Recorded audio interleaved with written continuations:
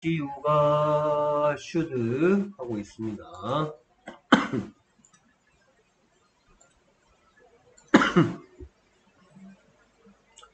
나와라. 슬라이드. 셔플 풀려 있고, 오케이.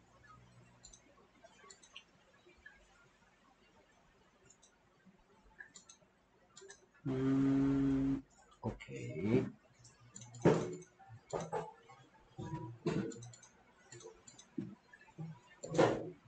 너는 왜 안 없어지고 있냐? 어떻게? 야, 저리 가. 오케이.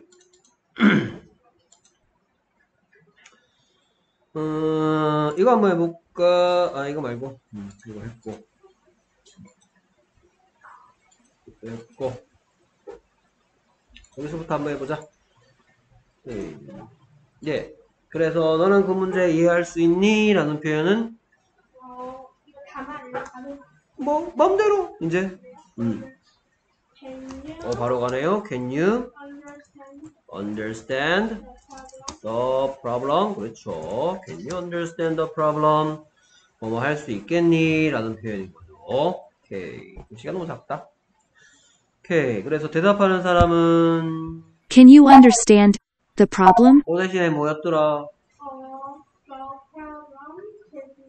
그렇죠. 그래서 그래 난 그거 이해할 수 있어. 난 아니 난 그거 이해 못해. 이렇게 얘기하면 되는데 얘는 이해할 수 있으니까 그렇죠. Yes, I can understand.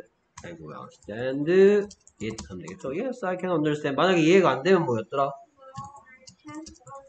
그렇죠. No, I can't understand it. 오케이. 그래서 양념시 들어있는 문장이네요. 오케이. 그래서 can you, I can 뭐 이런 식으로 양념시 들어있는 문장이었고. 오케이. 잘하더라. 다음 문장.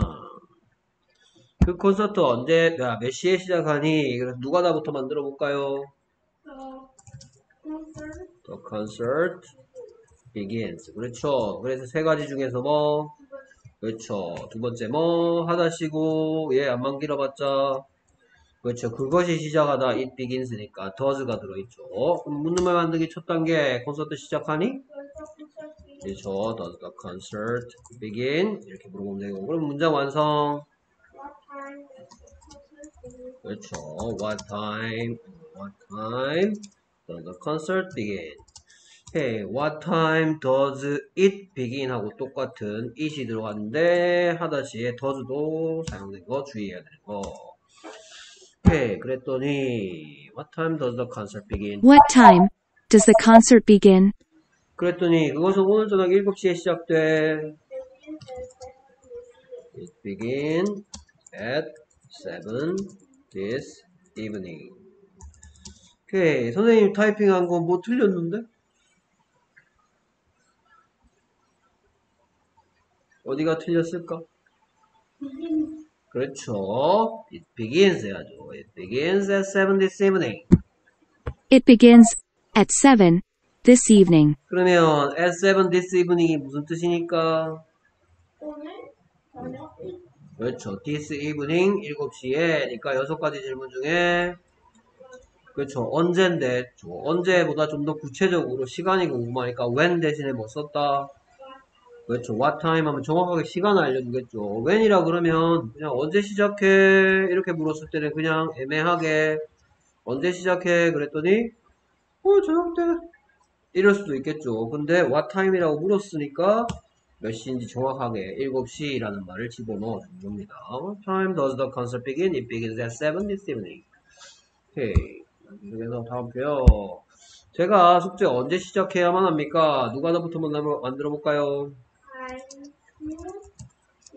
그렇죠. I should begin이에 begins예요? 그렇죠. I should begin. 그래서 양념시 들어갔고 begin의 뜻이 뭐니까? 하다니까 하다시니까 이런 거 필요 없죠. 오케이. 그러면 묻는 말 만들기 첫 단계. 그렇죠. Should I begin? 그러면 문장 완성. 그렇죠. When should I begin my homework? 되겠죠. 오케이. 제가 숙제 언제 시작해야 됩니까? When should I begin my homework? 오케이. 그래서 여기에 대답하는 사람은 뭐 대신에 뭐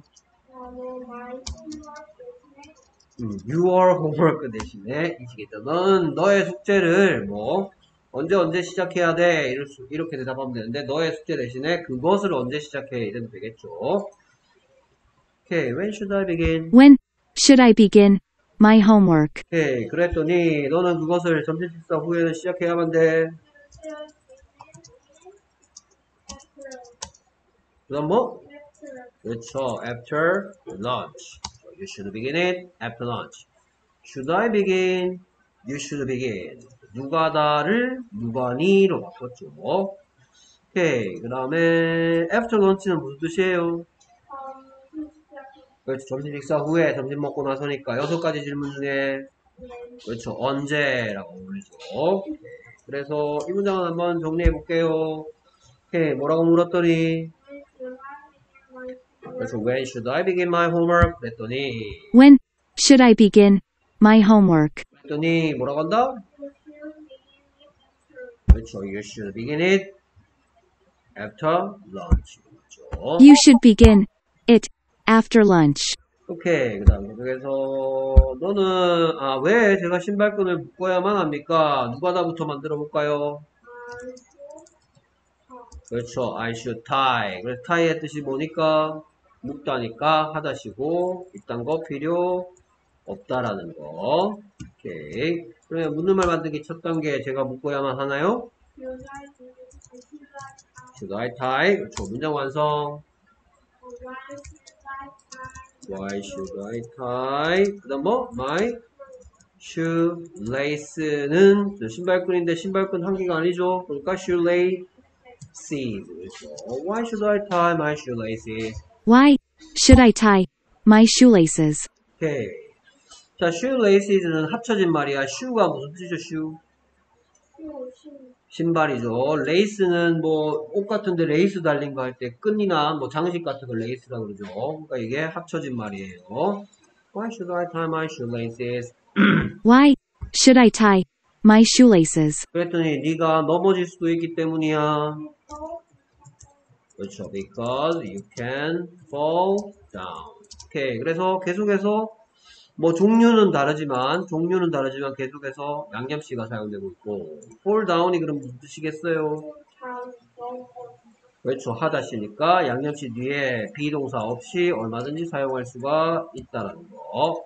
오케이. 자, 다음 시간에는 이제 얘를 섞어서 할 거예요. 됐습니까? 오케이. 수고했습니다.